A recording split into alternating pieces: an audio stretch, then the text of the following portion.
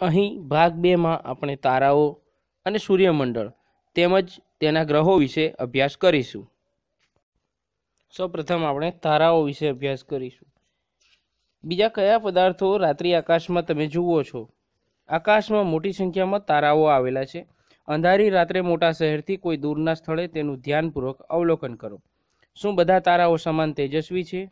શું બધા તારાઓ સમાન રંગ ધરાવે છે? હકીકતમાં તારાઓ પોતાના પ્રકાશનું ઉત્સર્જન કરે છે. સૂર્ય પણ એક તારો જ છે. બીજા બધા તારાઓ કરતાં તે શા માટે આટલો વિશાળ દેખાય છે? તમારી નજીક મૂકેલો ફૂટબોલ મોટો દેખાય છે કે તમારાથી સો મીટર દૂર મૂકેલો ફૂટબોલ? તારાઓ સૂર્ય કરતાં લાખો ઘણા દૂર આવેલા હોય છે અને એટલે જ આપણને એ બિંદુવત દેખાય છે. સૂર્ય પૃથ્વીથી લગભગ એકસો પચાસ મિલિયન કિમી દૂર આવેલો છે. આટલા મોટા અંતરને દર્શાવવા માટે બીજો એક એકમ પ્રકાશ વર્ષ વપરાય છે. તે પ્રકાશ વડે એક વર્ષમાં કપાયેલું અંતર છે. યાદ રાખો કે પ્રકાશની ઝડપ પ્રતિ સેકન્ડ ત્રણ લાખ કિમી છે. એટલે કે સૂર્યના પૃથ્વીથી અંતરને આઠ પ્રકાશ મિનિટ જેટલું કહી શકાય. અહીં પહેલીને એક પ્રશ્ન થાય છે. જો પ્રકાશને તારાઓથી આપણા સુધી પહોંચતા વર્ષો લાગતા હોય, તો મને આશ્ચર્ય થાય છે કે જ્યારે આપણે તારાઓ જોઈએ છીએ, ત્યારે આપણે ભૂતકાળમાં જોઈએ છીએ. સાથે સાથે બુજોને પણ એક પ્રશ્ન થાય છે કે મારે એ જાણવું છે કે આપણે શા માટે તારાઓને દિવસે જોઈ શકતા નથી? શા માટે તે ફક્ત રાત્રે જ દ્રશ્યમાન થાય છે? હકીકતમાં, તારાઓ તો દિવસ દરમિયાન પણ હાજર તો હોય જ છે, જો કે તેજસ્વી સૂર્યપ્રકાશને કારણે તે દેખાતા નથી. શું તમે તારાઓના સ્થાનમાં કોઈ ફેરફાર નોંધ્યા? તમને જણાશે કે તારાઓ પૂર્વથી પશ્ચિમ તરફ ખસતા હોય છે.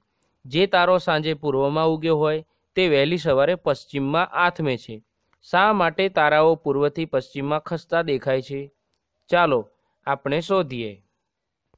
હવે આપણે પ્રવૃત્તિ સત્તર પોઈન્ટ ચાર કરીશું. મોટા ખંડની વચ્ચે ઊભા રહો અને ગોળ ગોળ ભ્રમણ કરવાની શરૂઆત કરો. રૂમમાં રહેલી વસ્તુઓ કઈ દિશામાં ખસતી દેખાય છે? તમે તેને તમારા ભ્રમણની વિરુદ્ધ દિશામાં ખસતી જોઈ હશે. પહેલીને યાદ આવ્યું કે જ્યારે તે ટ્રેનમાં હોય છે, ત્યારે નજીકના વૃક્ષો તથા ઇમારતો પાછળની દિશામાં ખસતા જણાય છે. જો તારાઓ પૂર્વથી પશ્ચિમ જતા હોય, તો શું તેનો અર્થ એ થયો કે પૃથ્વી પશ્ચિમથી પૂર્વ તરફ ભ્રમણ કરે છે? હવે બુજોને સમજાઈ ગયું કે શા માટે સૂર્ય પૂર્વમાં ઉગતો અને પશ્ચિમમાં આથમતો જણાય છે. કારણ કે પૃથ્વી તેની ધરી ઉપર પશ્ચિમથી પૂર્વ તરફ ભ્રમણ કરે છે. હવે પહેલીને ફરીવાર એક પ્રશ્ન થાય છે. મારા દાદાએ મને કીધું કે આકાશમાં એક તારો એવો છે, જે જરા પણ ખસતો નથી. આવું કઈ રીતે શક્ય છે? તે સમજવા માટે આપણે એક પ્રવૃત્તિ કરીશું. આ પ્રવૃત્તિ કરવા માટે આપણે એક છત્રી લઈશું. સૌપ્રથમ છત્રીને ખોલી નાખો. સફેદ કાગળના દસથી પંદર તારા બનાવો. એક તારાને છત્રીના વચ્ચેના સળિયાના સ્થાને લગાવો. અને બાકીના તારાને કાપડ પર છત્રીના તારાના છેડા તરફ લગાવો. હવે છત્રીના વચ્ચેના હાથાને પકડીને ગોળ ગોળ ફેરવો. કોઈ એવો તારો છે જે ખસતો ન હોય તેવું લાગતું હોય? આ તારો ક્યાં આવેલો છે? જો પૃથ્વીના ભ્રમણની ધરી જ્યાં આકાશ સાથે મળી હોય, ત્યાં કોઈ તારો આવેલો હોય, તો શું એ તારો પણ સ્થિર જ હશે? આપેલી આકૃતિ જુઓ, કે જેમાં પૃથ્વીની ભ્રમણ કક્ષાની ધરીની નજીક ધ્રુવનો તારો આવેલો છે. હકીકતમાં ધ્રુવના તારા નામનો એક તારો છે, જે પૃથ્વીની ધરીની દિશામાં આવેલો છે. તે ખસતો જણાતો નથી. આપેલ આકૃતિમાં આપણે એ તારાનું નિરીક્ષણ કરીશું. હવે આપણે નક્ષત્રો વિશે પરિચય મેળવીશું. થોડીવાર સુધી આકાશ તરફ જુઓ. શું તમને આકૃતિ સત્તર પોઈન્ટ અગિયારની માફક કોઈ આકાર દેખાય છે?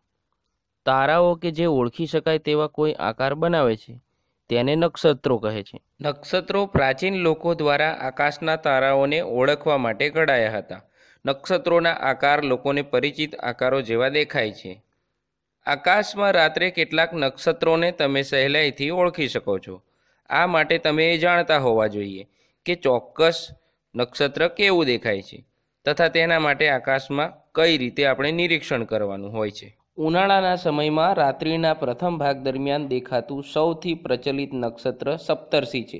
તેને બિગ ડીપર કે ધ ગ્રેટ બિયર કે સપ્તર્ષિ પણ કહે છે. આ નક્ષત્રમાં સાત અગ્રગણ્ય તારાઓ હોય છે, જે એક મોટા કડછા એટલે કે ચમચો કે પ્રશ્નાર્થ ચિહ્ન જેવો આકાર ધરાવે છે. તેમાં ત્રણ તારાઓ તેના હાથામાં અને ચાર તેના વાટકામાં ગોઠવાયેલા હોય, તેવું દેખાય છે. આ નક્ષત્રને થોડા કલાક સુધી જુઓ. તમને તેના આકારમાં કોઈ ફેરફાર દેખાયો?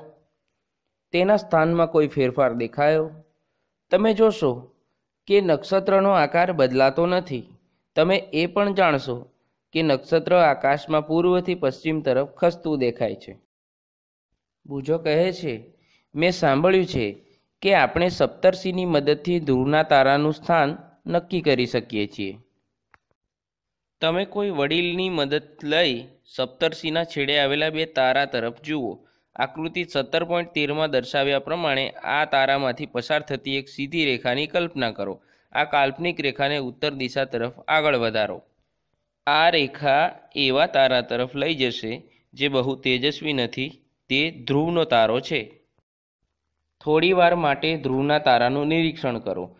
નોંધો કે જે રીતે અન્ય તારા પૂર્વથી પશ્ચિમ તરફ જાય છે, ધ્રુવનો તારો જરા પણ ખસતો નથી. સપ્તર્ષિ તારાઓમાં કયા કયા ઋષિઓનો સમાવેશ થાય છે, એ આપણે જોઈએ. ભૃગુ વશિષ્ઠ અંગિરસ, અત્રિ, પુલસ્ત્ય, પુલહા અને ક્રતુ. ઉનાળાની રાત્રિ દરમિયાન સપ્તર્ષિને ત્રણથી ચાર કલાકના અંતરે નિહાળો. દરેક વખતે ધ્રુવના તારાનું સ્થાન પણ નક્કી કરો. શું સપ્તર્ષિ પૂર્વથી પશ્ચિમ તરફ ખસતું જણાય છે? શું તે ધ્રુવના તારાની આસપાસ ફરતું દેખાય છે? અહીં આપેલા ચિત્રમાં જુઓ, ધ્રુવના તારાની આસપાસ સપ્તર્ષિનું ભ્રમણ કેવી રીતે થાય છે, જેની આકૃતિ જોવા મળે છે. હકીકતમાં બધા જ તારાઓ ધ્રુવના તારાની આસપાસ ભ્રમણ કરતા દેખાય છે. એ નોંધ રાખો કે દક્ષિણ ગોળાર્ધમાંથી ધ્રુવનો તારો દેખાતો નથી.